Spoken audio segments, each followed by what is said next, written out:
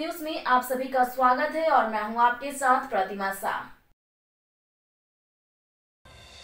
सीतामढ़ी, महर्षि वाल्मीकि तपोस्थली एवं लौ कुश कुमारों की जन्मस्थली त्रेता युग में माता सीता की शरण स्थली अठासी हज़ार ऋषि मुनियों की तपस्थली एवं सृष्टि के पहले महाकाव्य वाल्मीकि रामायण की रचना स्थली के रूप में जाना जाता है। कभी निर्जन जंगल रहे इस स्थल पर आज विकास की छाप पड़ने लगी है। सीतामढ़ी की पावन धरती पवित्र गंगा तट के किनारे स्थित है। यहाँ पर स्थित गंगा तट पर वट वृक्ष की आयु का अब तक कोई अंदाज़ा नहीं लगाया जा सका है, जो माता सीता की यादों को सालों से समेटे हुए है। वहीं सीतामढ़ी महर्षि वाल्मीकि के प्रबंधक पुत्र ज्ञानी कुमार ने बताया कि कवितावली में स्पष्ट वर्णन है। गोस्वामी तुलसीदास जी ने कवितावली के 138 कविताओं में सीता समाहित स्थल का वर्णन करते हुए सीतामढ़ी का उल्लेख किया है। इसमें विपट महीप, सुर सहित समीप, सोहेल सीता वटुपेखत पुनित होत पात की। इसका अर्थ, जहाँ की छाया का स्पर्श होते ही शरीर का ताप शांत हो जाता है, वो वृक्ष राज सीता वट गंगा के तट पर शोभायमान है। इसके दर्शन मात्र से सारे पापों का नाश हो जाता है। यह महर्षि वाल्मीकि आश्रम, माता जानकी, लोकुश जन्म स्थली यहाँ पे वाल्मीकि जी ने आदि कवि वाल्मीकि जी ने संस्कृत में रामायण की रचना की थी।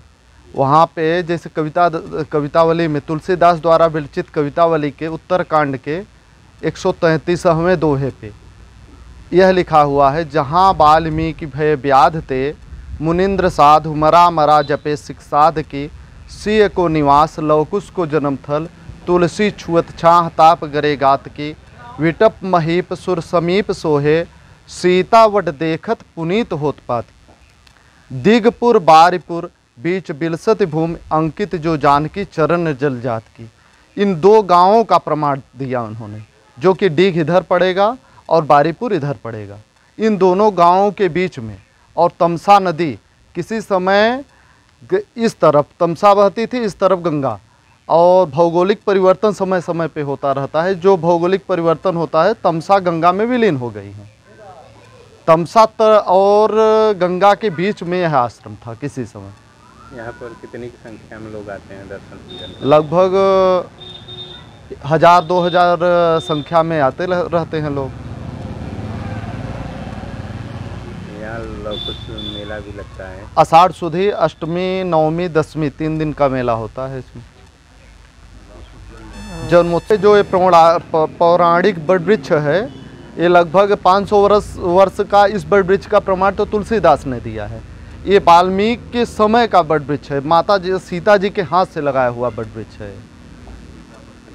ये जो कि सीतावट वर्णन सीतावट वर्णन के नाम से जाना जाता है। सीतावट के नाम से जाना जाता है। स्ट्रीट बस के लिए भदोही से नितेश श्रीवास्तव की रिपोर्ट।